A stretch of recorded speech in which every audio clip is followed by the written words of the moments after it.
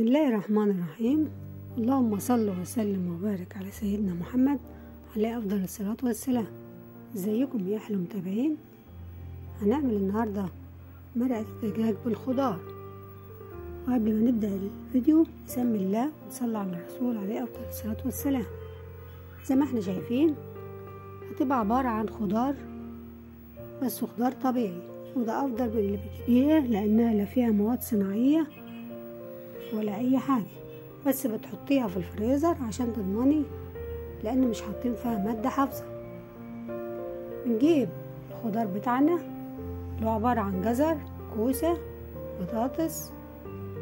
طبعا كل الخضار زي ما انت شايفة. ومعاهم كمان كرفس. معاهم كرات. بنقطع الحاجات دي كلها.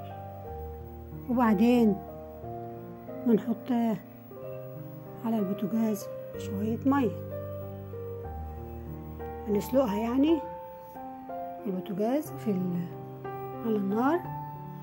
وبعدين نروح بيها على الخلاط ونضرب كل اللي إحنا عملناه وسويناه في الخلاط.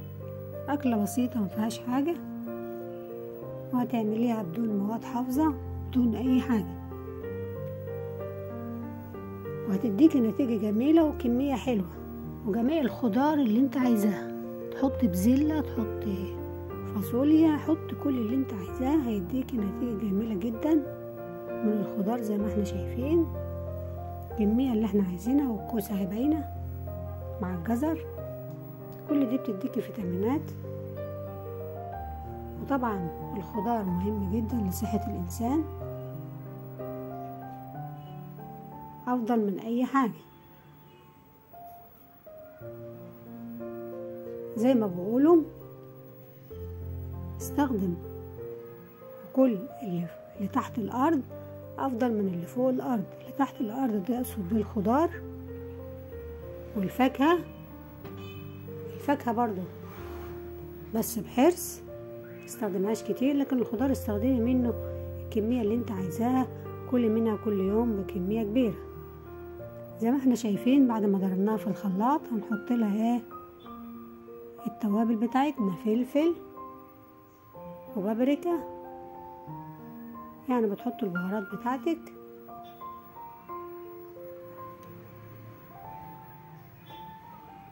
زي ما إحنا شايفين وهحط كمان السبع بهارات.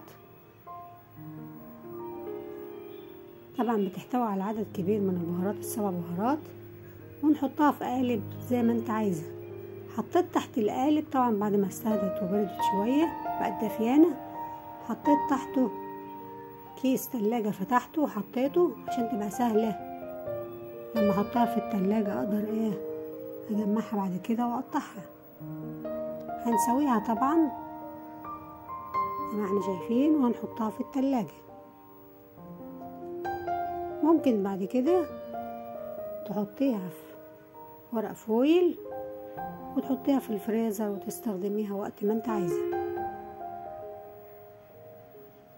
هننزل كل اللي في في الطاسة بتاعتنا ونسويه ونعبيها في ورق زي ما إحنا عارفين أو تحطيها ممكن تحطيها في كيس بس بعد ما تخرج من التلاجة وتكون شدت.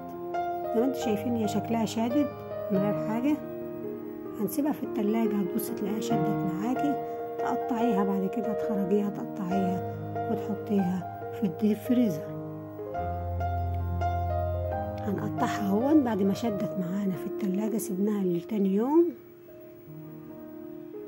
قطعها بقى تبع الحجم اللي انت عايزاه. أنا عملتها مكعبات صغيرة مش كبيرة. واحط منها في شوربة الخضار في أي أكل انت عايزاه. حط فيها حط في أي أكل أنت عاملاه هتديكي نتيجة جميلة بدل من اللي بتشتريها من السوق. وادتنا كمية قد إيه؟ وخضار إحنا اللي عاملينه وخضار طبعا طازة.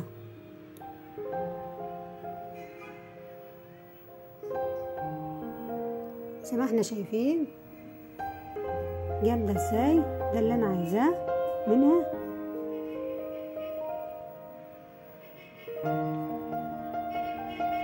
نتيجة جميلة وبسيطة مش هتكلفك حاجة كتير.